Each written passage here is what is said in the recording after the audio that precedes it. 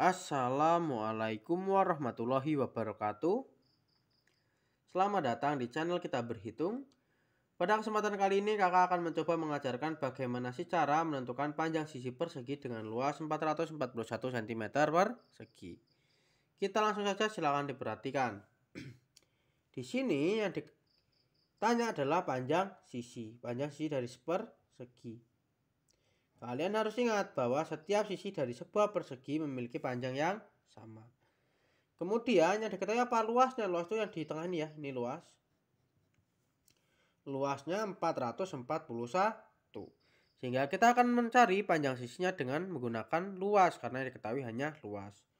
Rumus untuk mencari luas adalah luas sama dengan sisi pangkat 2. 441 sama dengan sisi pangkat 2.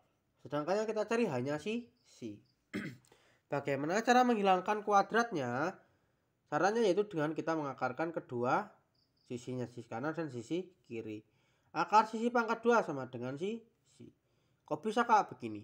Akar sisi pangkat 2 sama dengan sisi kuadrat dan akarnya kita hilangkan. Akar 7 pangkat 2 Akar dan kuadratnya kita hilangkan sama dengan 7. Akar 7 pangkat 2 itu berapa? 7 pangkat 2 itu berapa sih? 49. Akar 49, dua bilangan yang saling dikalikan menghasilkan 49 yaitu 7. Sehingga akar 49 adalah 7, sama kan? Sehingga akar si pangkat 2 sama dengan si si. Akar 41 441. Dua bilangan yang saling dikalikan bilangannya sama Apabila dikalikan menghasilkan 441. Berapa? 21. 21 dikali 21, 441. Satuannya apa? Sentimeter.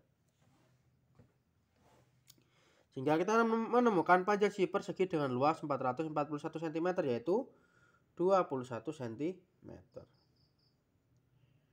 Bagaimana adik-adik? Apakah kalian sudah paham? Apabila kalian sudah paham, kalian luar biasa. Apabila belum paham silahkan ulangi lagi videonya. Apabila ada yang ingin ditanyakan silahkan tulis kolom komentar. Sampai jumpa di video berikutnya. Wassalamualaikum warahmatullahi wabarakatuh.